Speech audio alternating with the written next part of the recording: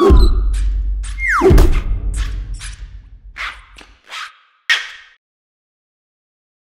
everyone, it's Michael here from GoodEReader.com and today I want to talk to you about phones and e-ink.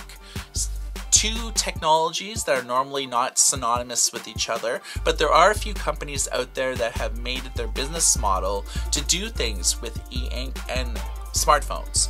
For example, there's a company, the Inkcase Plus, that has made a dedicated e-ink display that slides into a phone case and becomes an extension of your phone.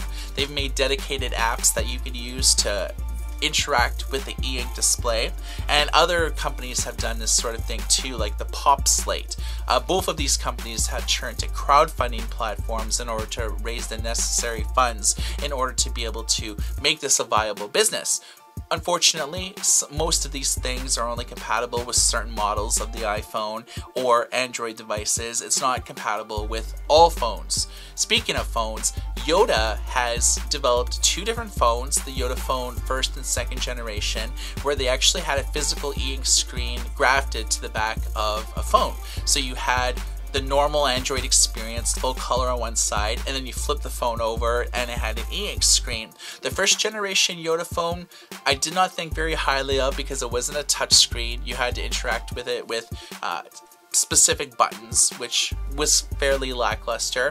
This was addressed in the second generation Yota phone, which did have a touchscreen display. There was only one phone that ever hit the market that had a single e-ink screen, and this was the Onyx Ink phone, released more than a few years ago. This phone I thought very highly of, very innovative, but I think it was too far ahead of its time, and Onyx did not register the, the cellular bands that were able to make this phone work. The phone simply couldn't actually make phone calls. Given that we really haven't seen much innovation with e-ink phones in at least two years, I wanted to ask you guys, what do you think uh, is the situation? Do you think that e-ink and smartphones are viable? Would you like to see more companies develop secondary screens for phones, e.g., an e-ink screen on the back and a full Android color experience on the front? Or do you think cases with removable e-ink screens are the future?